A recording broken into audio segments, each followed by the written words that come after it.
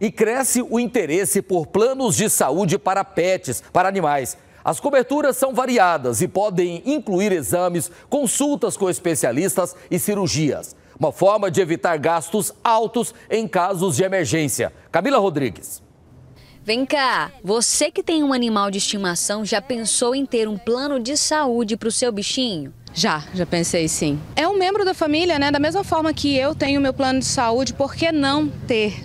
Até porque a tratativa é de filha tá sempre junto, tem que ter os mesmos cuidados. E é bom que eles estejam saudáveis junto conosco. Né? Então... E ela tem ou você ainda está buscando ainda? Ah, eu ainda estou estudando a ideia. Pois é, esse interesse por uma assistência garantida tem aumentado nos últimos anos. Em Goiás, já são cinco clínicas oferecendo esse serviço. A Poliane trabalha em uma delas. A gente viu a necessidade a partir do momento que foram chegando nossos clientes para consultar, é, para fazer procedimentos e eles sempre pediam um pacote. Ai, que podia ter um pacote, podia ter um desconto é, para a gente ficar fiel. Eu trago dois, três animais aqui, podia fazer um preço melhor.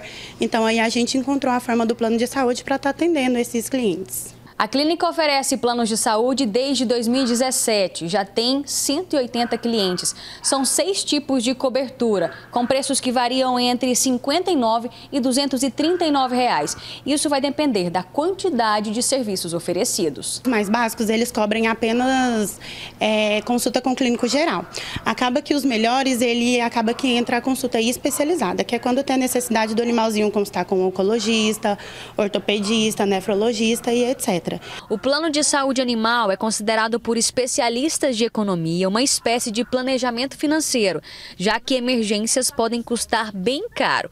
Para se ter uma ideia, a média de uma diária de internação aqui no estado é de 300 reais.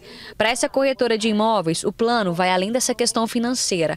Ela conta que o serviço poderia ter evitado um susto que ela passou com o Zico, de 3 anos. Ele teve suspeita de pancreatite e eu percebi que se nós tivéssemos feito esse diagnóstico antes, se a gente tivesse um plano de saúde antes, talvez nós poderíamos ter evitado esse susto e acompanhado a saúde dele mais de perto e ter esse cuidado, né? Ela ainda estuda as condições oferecidas pelas clínicas, mas pretende fechar o plano o mais breve possível. Estou buscando algumas opções para colocar, né, o Zico inserir ele nesses planos de saúde e também eu acho muito importante para poder evitar esse tipo de situação, porque a gente sabe como esses bichinhos são especiais para nós. Meu Deus, eu tô tão fofo!